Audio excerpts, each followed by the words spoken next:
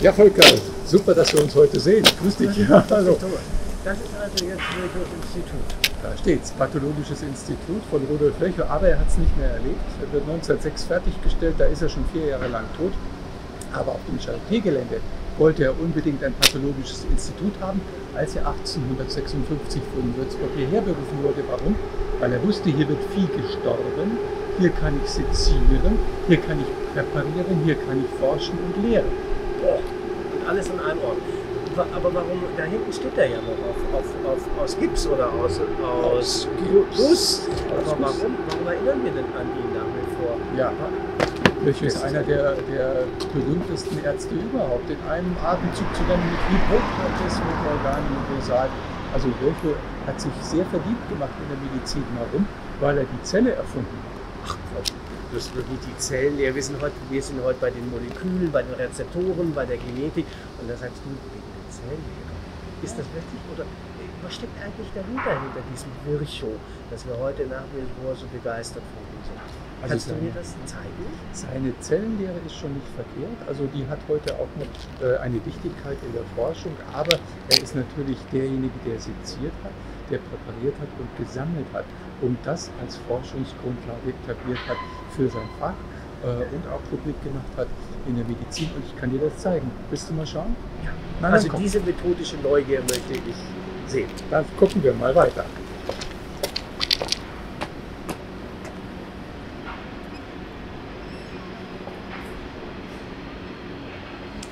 So Thomas, hier sind wir nun am Tatort. Willst du schon mal Platz nehmen? nee, lieber nicht. Nee, nee, ich stehe ganz gerne hier, aber wir haben doch da ein paar schöne Dinge, oder? Was ist denn das? Das ist ein sogenanntes Doppelrachiotom. Damit hat man den Wirbelkanal eröffnet. Gibt es übrigens auch schon zu Virchow-Zeiten. Warum macht man denn die- die- diesen, äh, diese Arbeit? Nun, Se- Sezieren ist eine ganz alte Praxis in der Medizin. Geht schon in der Antike los. Ähm, Die Hellenisten, drittes vorchristliches Jahrhundert, äh, machen systematisch Anatomie. Später, im 16. Jahrhundert, wird das dann nochmal intensiviert und dann kommen die Pathologen hinten rein. Spätestens Mitte des 18. Jahrhunderts erforschen sie systematisch den menschlichen Körper durch ein Eröffnen. Ich bringe meine Studierenden immer bei, äh, das ist alles Säftelehre und Säfte kann man nicht schneiden oder aufmachen. Warum wird denn, spielte die Sektion überhaupt im Mittelalter oder dann in der frühen Neuzeit so eine Rolle, auf die Virchow sich dann beziehen kann? Nun, es gibt ja immer die Frage eines ungeklärten Todesfalles. Also sprich, äh, woran ist der Mensch gestorben? Das interessiert jetzt nicht nur den Einzelnen, das interessiert auch in der Stadt, das interessiert auch im Land. Das heißt, die Gerichte kommen hier ins Spiel und ordnen regelrecht Sektionen an. Das heißt, dieser Raum hier ist zwar geschlossen, aber letztlich ein offener gesellschaftlicher Ort, an dem sozusagen Formen des menschlichen Miteinanders auch verhandelt werden. Genau, also der Raum wird ja konzipiert tatsächlich in der Medizin Ende des 15. Jahrhunderts als anatomisches Theater mit steil aufsteigenden Sitzreihen, sodass die äh, Zuschauer, die Zuhörer äh, über die Schultern des Sezierenden, über deine Schultern hinweg auf den Leichnam gucken können und ihn erklärt bekommen können. Das heißt, diesen Raum gibt es dann in der Medizin, aber er wird in anderen äh, Feldern für andere Zwecke genutzt. Aber dreh dich um. Also hinten spielt, ist, gibt es sozusagen einen zweiten Zuschauer.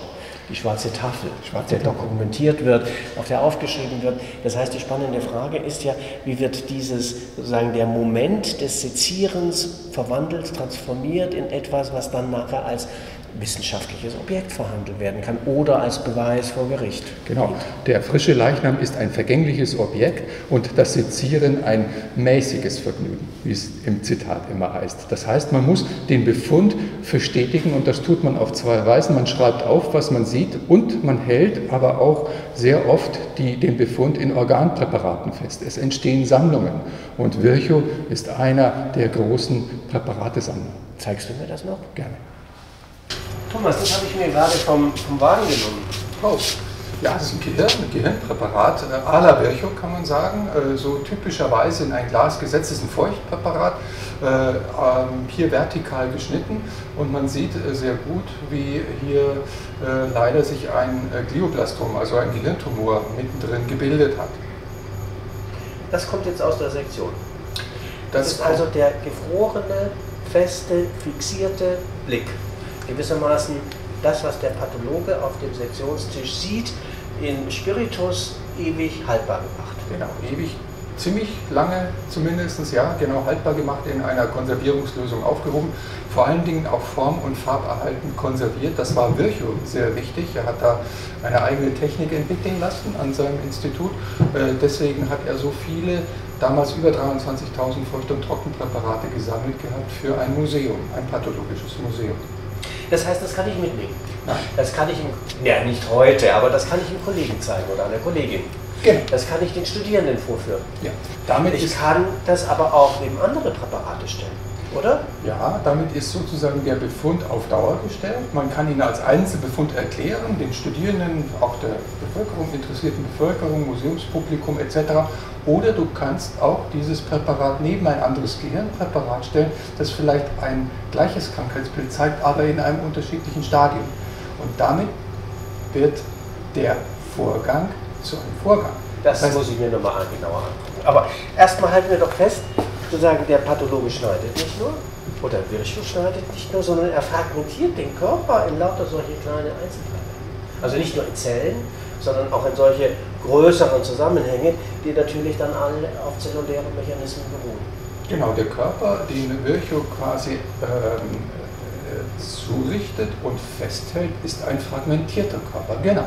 Das heißt, es erhebt immer nur den Körper in Ausschnitten auf, um diese Ausschnitte dann aber hintereinander zu reihen, in Serie zu bringen, in Reihe zu bringen, ja. In Reihe zu bringen, das möchte ich auch sehen. Gerne. Los. Ja, Volker. Jetzt sind wir hier in Virchows Präparatesammlung. Das äh, ist sozusagen das, was davon noch übrig geblieben ist, relativ viel. Ähm, jetzt hat ja Virchow das Sammeln nicht erfunden, oder? Nein, Virchow ist nicht der Erste, der sammelt, bei Weitem nicht. Also das Sammeln gehört zu dem wissenschaftlichen Grund, wenn man so will, kulturellen Leistungen oder, oder Kulturtechniken. Gesammelt wird seit seit der frühen Neuzeit. Die, die Humanisten haben alte Texte gesammelt die Naturforscher haben Pflänzchen gesammelt, in Herbarien angeordnet. Die Fürsten haben alle Kuriositäten gesammelt, in, in Wunderkammern bestaunt. Aber das hier ist doch was anderes. Also wie diese, diese Bibliothek der, der, der Präparate. Was macht denn Virchow hier eigentlich? Also ich komme noch nicht ganz dahinter. Also nach Größe geordnet sind sie nicht. Nee, nach Organen. Also Virchow will tatsächlich den ganzen menschlichen Körper durchdeklinieren. Er will alle Körperregionen abgebildet wissen, alle Krankheiten darin dokumentiert wissen im Präparat und alle Krankheitszustände auch noch. Das ist ein großes Sammelprogramm. Das heißt, er hat von jeder, von jeder Krankheit ein Präparat? Nee, eben viele. Er hat von jeder Krankheit so viele, um sich den gesamten Verlauf ähm, erklären zu können. Und das macht diese äh, Rede von den ganzen dichten Serien aus bei Virchow. Also er möchte wirklich Präparate rein haben. Und zwar immer die gleiche Krankheit im gleichen Organ am gleichen Ort. Aber zu einer anderen Zeit, oder? Aber zu einer anderen Zeit, genau. Das heißt, er macht genau das gleiche wie die Kliniker. Kliniker sozusagen in ihren großen Krankensälen haben dann im Saal der Typhuskranken oder im Saal der Pneumonie, wie im Hotel Dieu, dann auch die, Krank die Krank Kranken wegen ihrer Krankheiten nebeneinander liegen. Genau. Und Virchow kommt über den toten Menschen und will jetzt sozusagen diesen Krankheitsprozess noch einmal nachvollziehen, um sozusagen in der Erklärung von seinem Befund als Pathologen auf das äh, Krankheitsbild im Lebenden rückschließen zu können. Also das ist gefrorene Entwicklung.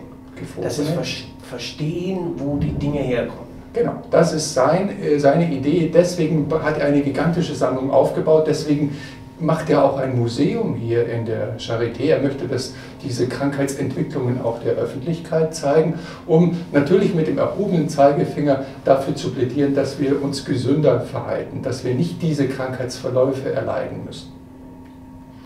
Ob ich mich dadurch gesünder ernähre, weiß ich nicht, aber ich bin beeindruckt.